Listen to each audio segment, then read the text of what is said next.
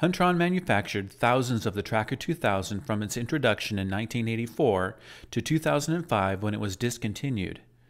While the Tracker 2000 can still be a useful tool on some older PCBs, it is less so on today's lower current CMOS surface mounted components. This video is to address the commonly asked questions regarding the differences between the Tracker 2000 and the Tracker 2800. Let's start with the most obvious difference, and that is the Tracker display. The Tracker 2000 had a CRT-based display, and the Tracker 2800 uses an LCD. While some longtime Tracker users may prefer the real-time aspect of a CRT, the color touchscreen and screen text capabilities give the Tracker 2800 LCD some distinct advantages. The next big difference, and probably the defining reason to consider a Tracker 2800, are the range capabilities. As we know, a tracker range consists of an applied AC voltage at a selected frequency run through an internal source resistance. With the Tracker 2000, the idea was to keep it simple, hence the low, medium 1, medium 2, and high push button range settings. The frequency was variable with three independent settings. When users started testing newer, low voltage, low current CMOS SMDs with their Tracker 2000, they saw the limitations in its use of higher voltages. However, the 54 ohm low range resistance was too low to see any high resistance shorts that are a common fault with CMOS semiconductors. This IC has a resistive fault but is not visible on the 2000 because of the 10 volt 54 ohm range level. The medium 2 range would be a more appropriate resistance setting, but the 20 volt level is too high, making the signature look almost like a short. Huntron realized this issue early on and developed the first variable range tracker. Variable ranging allows the 2800 user to configure the range settings of voltage, frequency, and resistance independently, providing over 100 possible range combinations. The voltages used are lower, and the resistance and frequency selections are expanded. With the lower voltages, high resistance shorts on surface mounted ICs could now be detected since the horizontal voltage scale on the tracker display was useful again.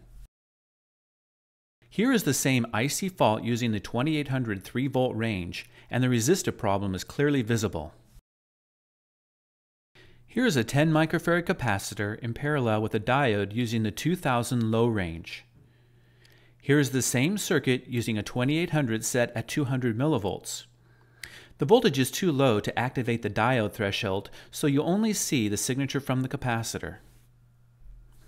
The ability for the 2800 to drop to a 200 millivolt range allows the user to essentially isolate passive components that are in parallel with a semiconductor.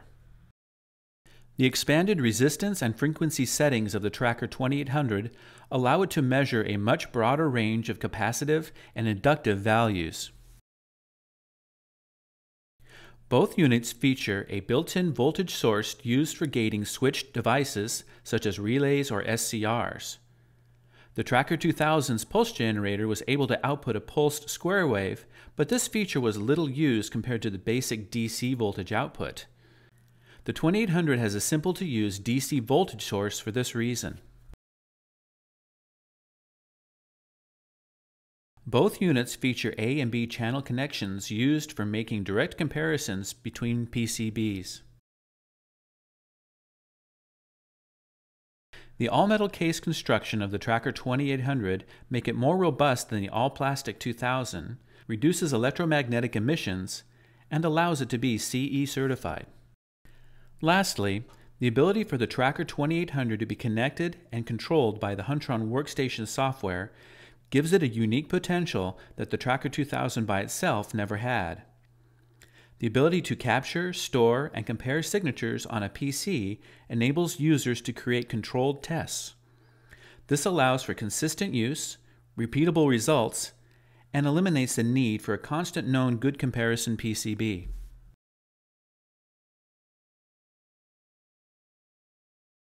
In conclusion, while the Tracker 2000 was a great tool in its day, the Tracker 2800 is a power off test instrument that has evolved along with the technology that challenges us today.